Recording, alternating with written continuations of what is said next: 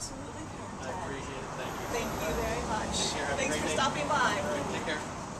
And there we are, canvassing the neighborhood. Happen to be in my old neighborhood, and uh, you know this is a really important part of the uh, election year. Getting out, and talking to voters, because this is the way that people are going to learn about the issues. I'm going to learn about what's on people's minds, and it's the best way that we can t- continue to have that dialogue and maintain that positive message that we've been spreading throughout the campaign.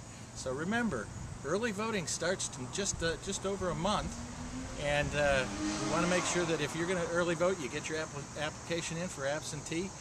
And if you're so moved, please come out and help me knock on some doors as I continue to go around. And if you don't like knocking on doors, you can get on the telephone and call folks.